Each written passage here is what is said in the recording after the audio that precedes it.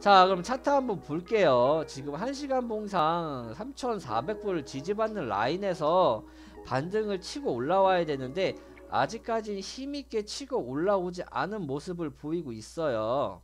예 우버 맞다. 우버가 자동차 회사들보다가 어 시총이 그러니까 그 매출이나 시총이 훨씬 올라갔죠. 자동, 자동차 한 대도 없는 회사들이. 이것도 유니콘 기업인데 어, 현재 시스템을 잘 이용한 거죠. 자, 비트 다시 말씀드릴게요. 날봉상 지금 지지받는 라인까지는 내려왔어요. 내려와서 하지만 반등이 그렇게 크게 나오지 않은 상태라서 날봉상은 크게 의미가 없을 것 같고 아직까지도 맨날 똑같은 얘기지만 시드 대기 예, 아직까지도 어, 그냥 대기해 주시기를 빌어요. 그리고 4시간 봉상 보시면 반등이 약간 올라오긴 했어요. 근데 이 힘이 너무 약해. 그러니까 어느 정도 바닥을 지지했을 때 힘있게 올라쳐줘야 되는데 힘이 너무 없다는 점이 조금 아쉽습니다. 그래서 하락했을 때 보시면 반등을 힘있게 쳐주고 널었다 쳐주면 그나마 이런 큰 반등이라도 나올 텐데 아직까지는 진행형이에요. 아직까지는 진행형이기 때문에 조금 더 어, 반등이 더 나올 수도 있긴 한데 아니 근데 그, 지금 힘이 너무 없어가지고 의문이네요. 그래서 이거는 어 그냥 지켜보는 게 나을 것 같고 4시간 봉도 마찬가지고 1시간 봉도 지금 그냥 지지받는 라인에서 맥없이 횡보치고 있어요. 크게 올라가지를 못하고 이럴 경우에는 추가 하락할 가능성도 굉장히 높아요. 그렇기 때문에 어 조금 맨날 시드 대기람 시드 대기 하란 말해서 죄송하지만 시드 대기가 맞아요. 네, 조금 더 지켜보는 게 맞다라고 생각을 합니다. 네, 좋아요 버튼 한 번씩만 눌러주시고요. 어, 정확하게 딱 들어갔으면 이 라이가 지지를 지지를 받는 라인이니까 반등은 올라와요. 그러면 어 하락 추세에서 지지 라인 어딘지 보고 나면 여기서 올라오는 건 반등 먹고 탈출하면은 이게 단타예요. 네, 이게 단타다. 그죠?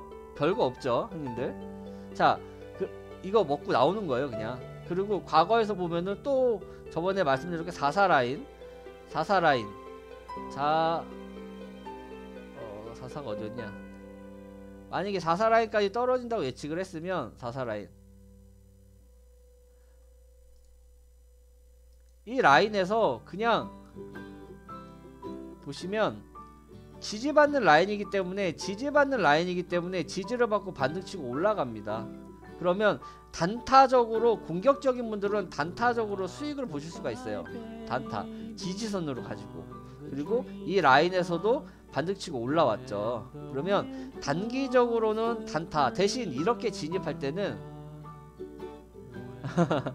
진입할 때는요 손절 라인을 꼭 잡고 들어가시는 게 좋아요. 그럼 내가 만약에 4사 라인에서 반등 친다 그럼 이 라인에서 꼬리를 말고 반등 치고 올라왔죠. 그러면 지지받는 라인에다가 매수를 걸어 놓고 매수를 걸어 놓고 이게 체결이 된다면 손절 라인을 잡고 공격적으로 진입해 볼 만 합니다. 그래서 단기 펌핑 먹고 나오는 거예요. 그러면 어 이제 단기적인 차원에서 볼 때는 어 되게 있어 보이고 엄청 뭐 단타적으로도 먹을 수 있을 것 같은데 아, 알람이 오늘 알람이 안 울렸나봐요. 시청자가 별로 없어요. 알람이 울리지 않아서. 네 써님 반갑습니다. 그럼 형님들이 만약에 공격적으로 매매를 하고 싶으신 분들이 있으면 내가 공격적으로 공격적으로 매매를 하겠다라고 하시면 어 저희가 이제 지지 라인을 저렇게 잡아 드리죠. 그럼 3사 라인이다. 그러면 3사 라인. 내 반등을 먹고 나오되 손절 라인을 꼭 잡고 들어가시는 게 좋고요. 반등해서 손절 라인을 퍼센트로 예, 퍼센트로 잡고 들어가시는 분들도 있고 아니면 내가 들어간 것보다 한 틱 낮게 조금만 낮게 손절 라인 잡아 놓으셔도 돼요. 그래서 지지받는 라인에서는 반등이 올라올 수 있기 때문에 그 반등 매매를 하셔도 되는데 저는 솔직히 이런 건 추천드리지 않아요. 그래서 반등 3, 4 라인에서 반등 온다 뭐 단기 펌핑 먹어라 공격적 하시 공격적으로 대응하실 분들 먹어라 이런 말을 잘 안 드리는 게 그것도 기본 본인이 대응할 줄 아는 분들 손절 라인에 대한 대응할 줄 아는 분들이 대응을 하셔야 수익이 나지 그냥 뭐 어 반등이니까 무조건 먹어야지 들어갔다가 뚝배기 깨지시는 분들도 굉장히 많아요. 그래서 어 제가 이 얘기를 왜 하냐면 자꾸 저한테 그러더라고. 네가 차트 볼 줄 알고 어 네가 전문가라면 반등 다 먹고 나와야 되는 거 아니야 라고 얘기하는데 나는 매매법 자체가 저 같은 경우는 반등 매매를 안 해요.